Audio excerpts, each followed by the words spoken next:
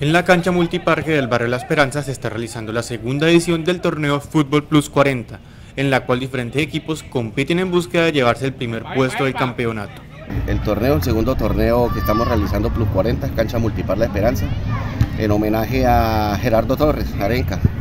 Eh, ahorita tenemos 14 equipos participando, eh, se juega todos contra todos. Eh, vamos por la segunda fecha y lo, está, lo estaba liderando en la primera fecha la bandola. Juan Carlos Quiroga, miembro de la Junta de Acción Comunal y el Comité de Deportes del Barrio La Esperanza, comparte que el evento ha tenido una amplia acogida e invita a la comunidad a presenciar el espectáculo deportivo. Estamos invitando eh, por parte de la Junta de Acción Comunal del Barrio La Esperanza, Comité de Deportes, en cabeza del señor Ulises Ardila, invitando a toda la comunidad de Barranca Bermeja para que vengan y nos acompañen.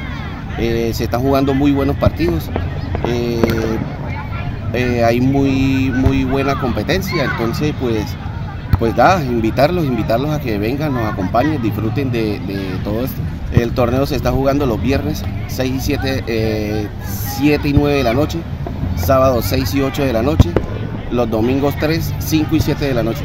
Asimismo, Quiroga comenta que la organización del torneo cuenta con una serie de premios, los cuales buscan incentivar a los jugadores. El campeón eh, se va a llevar eh, trofeo más 4 millones de pesos, su campeón trofeo más 2 millones de pesos, el tercero y cuarto se reparten un millón de pesos más trofeo, eh, vaya menos vencida, goleador 150 mil pesos. La organización de espacios como este es positiva para la ciudad, ya que crea lugares deportivos en los cuales los barranqueños pueden aliviar su día a día mediante el ejercicio.